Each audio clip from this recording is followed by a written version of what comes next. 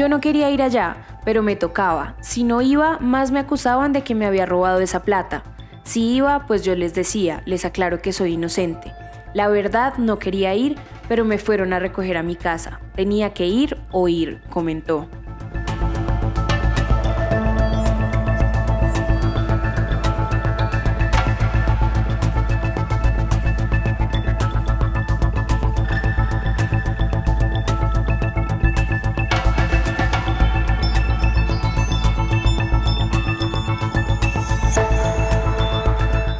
Entré a la camioneta, no me pidieron nada en ningún momento, ni cédula.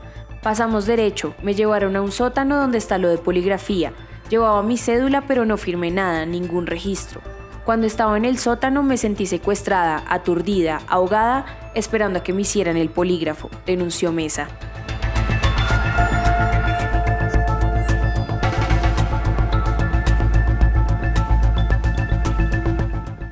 Tres hombres, no sé ni sus nombres ni sus apellidos, pero si los veo, sé quiénes son. Eran altos, robustos, uno moreno y uno más o menos trigueño.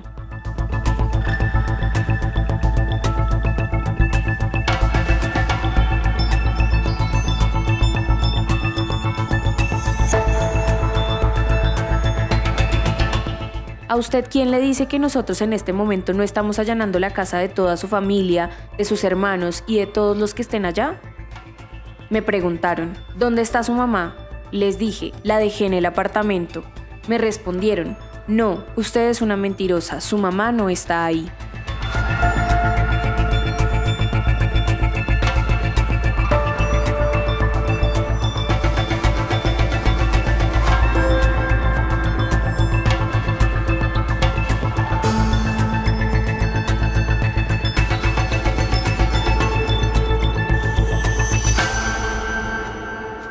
Todo lo que usted quiere saber de Colombia y el mundo puede verlo a través del canal de YouTube del Tiempo. Suscríbase.